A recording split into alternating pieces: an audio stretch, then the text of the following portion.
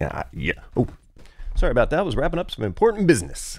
Hi, I'm Randy Primm. This is my first video on a series, which is the AI Field Trip Show. We're going to go all across the AI space and cover everything that's happening in AI. We're going to interview all the top people in the AI space, all the content creators. We're going to try to learn together, grow together, share together, have some good times. You bring your permission slip? I don't care. Let's get started.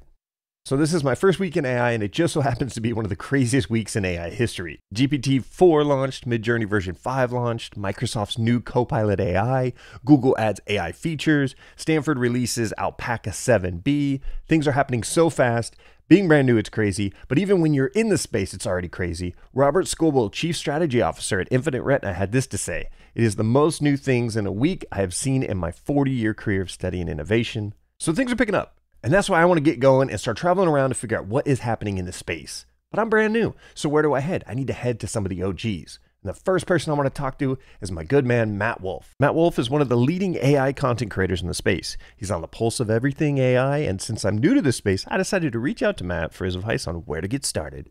Dude, this is my first week, and this is the craziest week apparently in AI history. I have to ask you, I'm brand new. What do you say to people like myself and others who are getting into the space? Where do you recommend we start? Yeah, so I mean, there's a handful of tools that I think everybody should sort of pay attention to to start. Uh, the three that I would say pay attention to right now are, you know, GPT three, GPT four. Uh, that's that's one. That counts as one. Uh, Stable Diffusion. That's really probably the coolest, most flexible AI art platform. And then Midjourney is another AI art platform where there's a lot of really cool things happening right now. They just released their version five, which is ultra ultra realistic imagery. And those are the three places to start. Now, if this is the week that you decided to get into AI, this has been the most hectic week in AI I've ever seen. So it's not normally a week like this, but uh, who knows? We might be entering a new era where every single week we're seeing advancements happen this fast. So, um, my advice buckle up. now, me and Matt work together in the Web3 space at Hard Fork Gaming. We also go way back in the sense that both of us worked at fast food joints. Me, McDonald's, and he at Taco Bell. Oh, God, I hate my job. Definitely go check out Matt's YouTube channel and follow him on Twitter at Mr. eFlow. All right, next we're going to head on over to YouTube and check out the channel The Inner Self, where they uploaded a video essay called The Future of AI The Fate of Human Value. This is a very interesting video. It's 16 minutes long, but let's go ahead and watch the first minute. I don't think I'm alone in saying that I didn't foresee this really happening in my lifetime. We always knew about the possibilities of advanced AI technology, but they were abstract, a sci fi dream not grounded in perceivable reality. The prevailing social wisdom always seemed to be that humanity was destined for slower, more incremental growth. In fact, it's always been a mystery as to whether humanity would really get the opportunity to advance any further on the ladder of civilization. And yet, this almost supernatural possibility has suddenly manifested. I don't see how this doesn't change everything we thought we knew.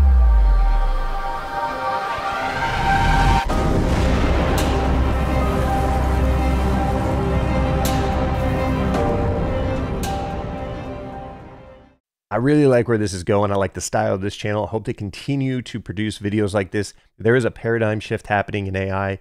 There is so much going on right now that I think to really bring it all together in a long form video essay is something that really lets people kind of put in perspective what's happening. And I really like the style. Keep it up, you guys. I'm a fan. Alrighty, next we're going to head off to mainstream media. That's right, mainstream media has lately been talking about AI in just about every type of show, from the last week tonight to South Park. That's right, South Park just recently featured ChatGPT in one of their episodes and actually used ChatGPT to write part of the episode. Now, in the episode, the boys at the school use ChatGPT to text to their girlfriends. So their girlfriends are thinking, oh man, these are the most amazing boyfriends ever. But it's actually ChatGPT that's saying all this stuff. And the boys are just copy pasting what the girl says into ChatGPT. And then ChatGPT tells the boys what to text back to their girlfriends. Now, this is bringing us some ethical things that I'm really curious how you all feel. Because as we've evolved in the language of the internet and the language of texting, uh, there's a lot of use cases where we're, we're actually using something that we didn't create to convey a message that we ourselves are having trouble conveying. For example, GIFs, emojis, memes. I know a lot of the times I've sent funny GIFs to friends when I just don't have the text or the words to say it. Now we're using ChatGPT. Where is the line? And Is the line going to be there much longer as we evolve?